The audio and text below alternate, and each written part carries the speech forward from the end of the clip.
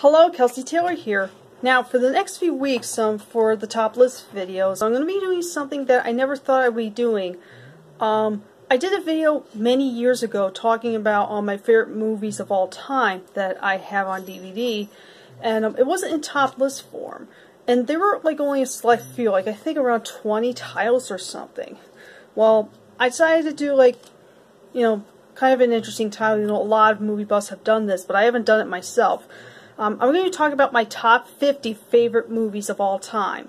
Now, that it's going to be split into multiple parts. Um, like every week, I'm going to be going through like at least 10 titles at once, or nine, like between nine and um, 10 titles, because you know there's a lot to talk about here, and um, with the time that I have to filming on my phone, it would it would be impossible to do as just one video. So I'm going to split into different parts.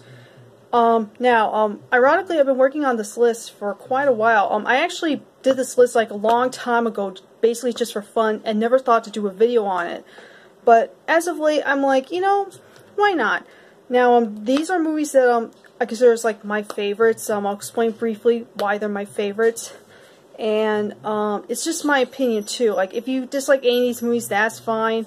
Um, I know some people may find this list kind of weird, but you know, it's basically just my, my kind of list. You know, sometimes a lot of movie buffs lists are kind of like the same stuff over and over again, but it is more interesting um, to hear, you know, um, different kinds of movies from somebody else's all-time favorite movies list.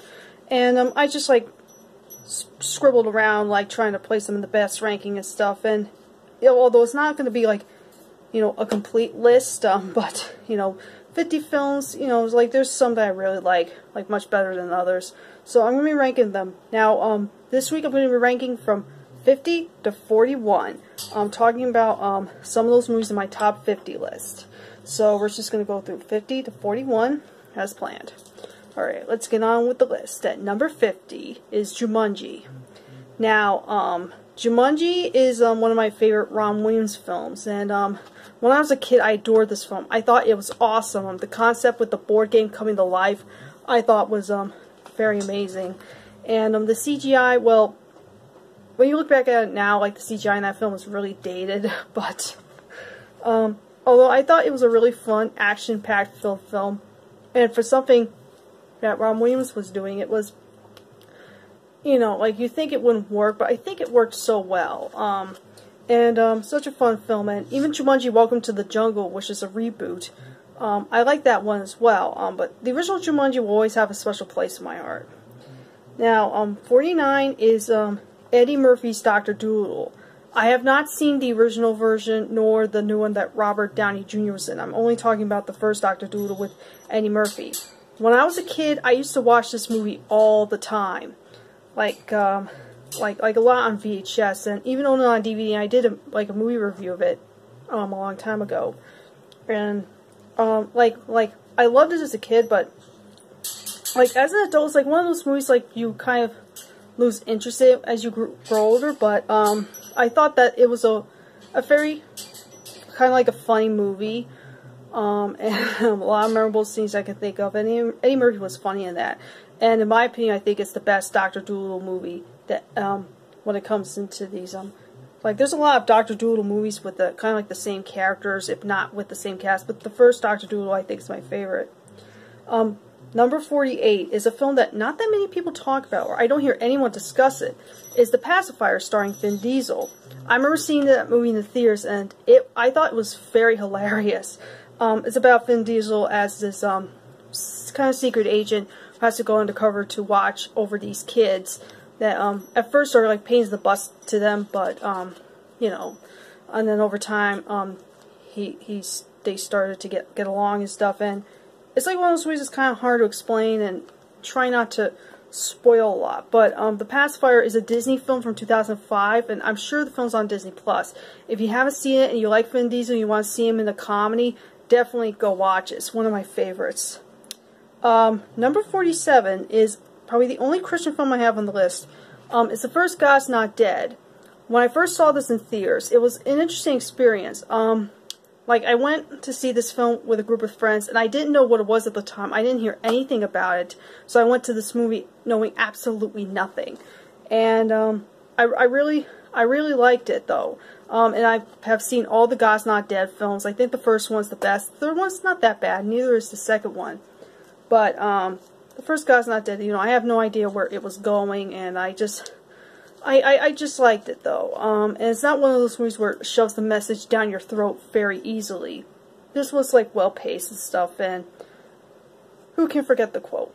God is good all the time, and all the time, God is good. I just I just like that. Yeah, um, yeah. So that's God's Not Dead is the one I would put on my top 50 list, at least at the bottom. All right, number 46, of course, is an obvious one. Is Back to the Future. Um, there's other films that um that I have on the list that I like. Like the first Back to the Future, of course, you all know that movie. Michael J. Fox, Christopher Lloyd, The DeLorean, going back in time in 1955. Like it's a classic.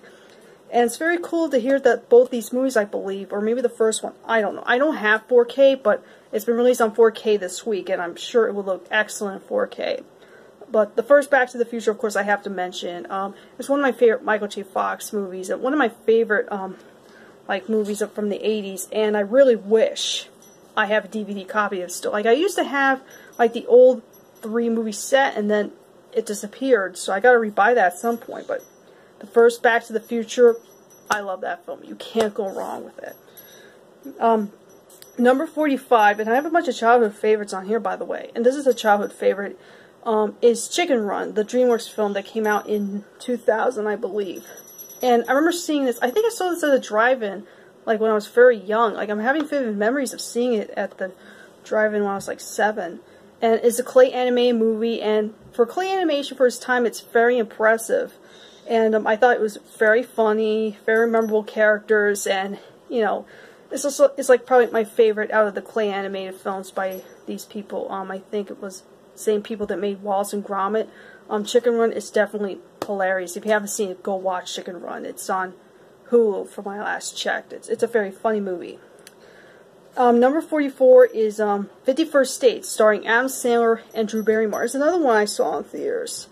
And um, I thought, when it comes to Adam Sandler movies, um, like, I've always been a fan more of his um, romantic comedies. Um, I still like a few of his like slapstick comedies, but sometimes it can be hit and miss. But um, 50 First Dates is my favorite romantic comedy that he's done. Um, it's about him meeting Drew Barrymore. What he doesn't know is that um, Drew Barrymore was in a car accident the year before that um, caused her to have short-term memory loss. So um, she would not remember, um, like she would remember the events that happened before the accident, but after she would not remember. It would be wiped clean from her memory as she sleeps. And um, Adam Sandler just like try to like work it out and stuff, like going on multiple dates with her. And it's it's just a sweet, sweet movie. Number 43 is the film version of the Beverly Hillbillies. And I don't know if that many people heard about this one unless you're a Jim Varney fan. Um, Jim Varney of Ernest fame um, plays Jed Clampett in this. And I never, I don't think I've ever seen episodes of the TV show. I probably have, but I'm not sure. But has a great cast. Um, it's got Rob Schneider, um, Cloris Leachman as Granny, and um, Lily Tomlin. It, I mean, it's such a hilarious, hilarious movie. It's from 1993 and I think the same director of Wayne's World directed this film as well, and it, it's it's a funny one. Number 42, um, I haven't seen this movie in years, so I gotta watch it again, but I remember being obsessed with the film at the time when I was a kid, is Small Soldiers from um, 1998. Um, it's kind of like DreamWorks' version of Toy Story, but slightly darker. I just remember being very obsessed with it. Like any movies involving like talking toys, I'm always obsessed over. Um, but Small Soldiers is probably one of those films I probably would not like as much if I watch it back again. But my, I, I, I, I gotta watch it again. It's a, it's one of my probably it was like one of those movies I remember seeing at the drive-in when I was very young and just liking it. Um, like I said, I've not watched in a long time. Now, number 41 is the last one I'm gonna, you know, say for this part. Is um, the Brave Little Toaster. That movie I remember watching a lot on TV um, renting it all the time. And it's always been like a childhood favorite. It took me until like, I don't know, seven years ago or so to pick up the DVD because I never owned it on VHS. I probably have, but I don't remember.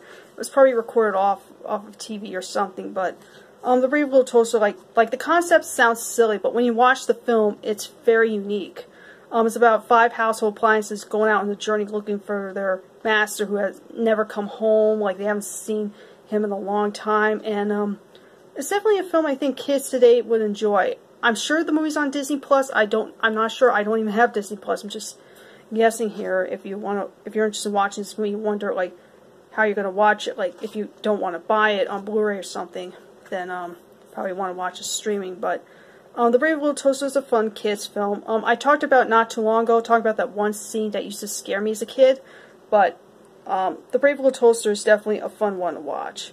So um, those are my picks for, um, as of now, 50 through 41.